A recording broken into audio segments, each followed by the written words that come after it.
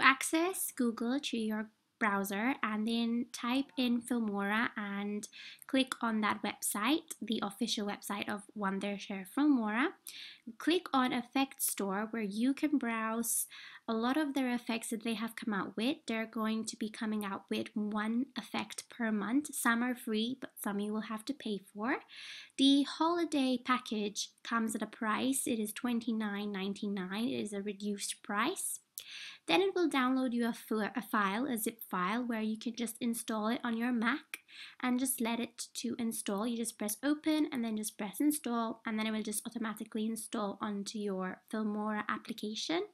And then you can just open Filmora normally and you will have the holiday package right there. There is new text effects. There's new transitions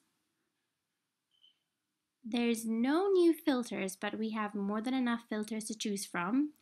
We have new overlays. And finally, we have new elements to use. There isn't any new music, but that's all right because we already have.